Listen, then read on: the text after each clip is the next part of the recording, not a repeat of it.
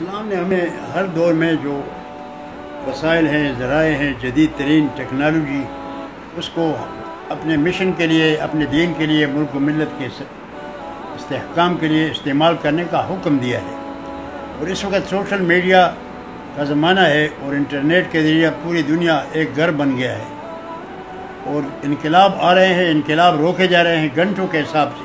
ترکی میں جو کچھ ہو رہا تھا تو آدھے گھنٹے کے سوشل میڈیا کے پیغامات سے اور اس میں جو ہنگامہ اٹھ کھڑا ہوا تھا، پوری پورا انقلاب فوجی، وہ ناکام ہوا۔ بڑے بڑے انقلاب جو آئے ابھی عرب ممالک میں، مراکز سے لے کر تیونس سب میڈیا کے مرہون منت ہے اگر اس میدان کو ہم کھلا چھوڑ دیں، تو وہ ملک کے اخلاقی بگاڑ اور نوجوانوں کے تباہ کرنے کا ذریعہ بن جائے گا۔ اور اس سے بہت بڑا نقصان ہوگا۔ قوم کے اخلاق کو بھی، قوم کے مقاصد کو بھی۔ اس لحاظ سے ہمارے ہاں طالب علم الحمدللہ جدید علوم سے بھی استفادہ کر رہے ہیں۔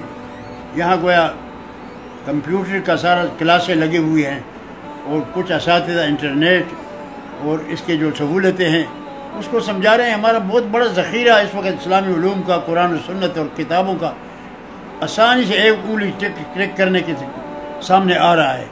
تو اس سارے سے استفادہ کرنا سب سے بڑا حق ہے علماء کا، طالب علموں کا۔ الحمدللہ اس پر کام ہو رہا ہے۔ تو آج اس سلسلے میں کچھ نوجوان جمع ہوئے تھے اور اجتماعی طور پر انہوں نے ایک پروگرام بنایا۔ لیکن ہم نے ان کو کہا کہ اس ٹیکنالوجی کو ہم برائی کے لیے اور ایک دوسرے پر چینٹر ڈالنے کے لیے الزامات اور اتحامات اور گالی گلوچ کے لیے استعمال نہیں کریں گے۔ پاک، صاف، مثبت طریقے سے اپنا پیغام بھیجیں گے اور مخالفین کو دلائل کے ذریعہ قائل کرانے کی کوشش کریں گے۔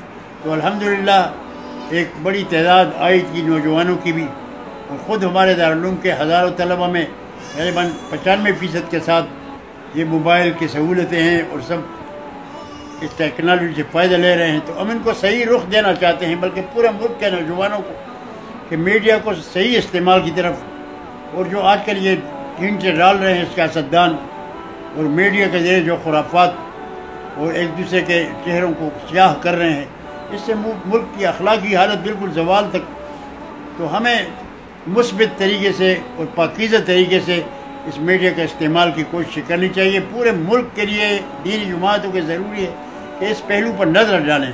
ورنہ نئی نسل کیا کہ سب پوری قوم تباہ ہو جائے گی اخلاقی گلاوٹ کے۔ تو اس کے خرابی سیوں سے بھی قوم کو اور ملک کو بچانا وقت کی بہت بڑی ضرورت ہے۔ تو الحمدللہ دارالعلوم کو ان ساری باتوں کا احساس ہے اور ایک بڑی جماعت کمپیوٹر کمپیوٹر سیکھ رہی ہے اور بڑی جماعت اس کے طریقے اور آج بھی سوشل میڈیا کو سمجھانے والا دارالعلوم ہی کا ایک استاذ تھا جو اسی شعبہ کے لیے وہ مصروف رہتا ہے۔ تو الحمدللہ یہ سلسلہ بھی آج شروع ہو گیا ہے، خدا کرے گے پوری قوم جو ہے سوشل میڈیا سے بہتر اور مثبت اور نتیجہ خیز فائدہ اٹھائے گی